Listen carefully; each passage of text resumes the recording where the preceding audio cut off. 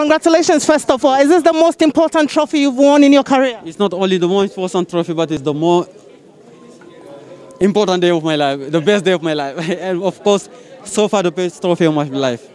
And I can't express my, my, my, my feeling today. I'm very happy, very proud about it. When, when you, um, you missed the penalty, talk to us about what was going through your mind. My mind, first of all, I was not happy because I most of the time scored a penalty.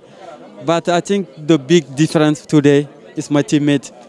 After missing the penalty, everybody come to me in the dressing room. Sadio, we don't care what, what happened. We lose together, we win together.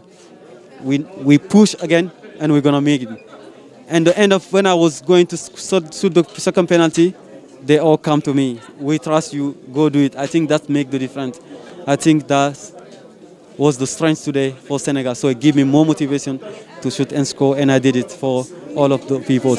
I think this trophy is the first ever trophy of the history of Senegal. So the people cry everything about it because they've been waiting so long. But still, this trophy myself, I think I give it to Aliou Cisse. He deserves it. This man, for me, is something else.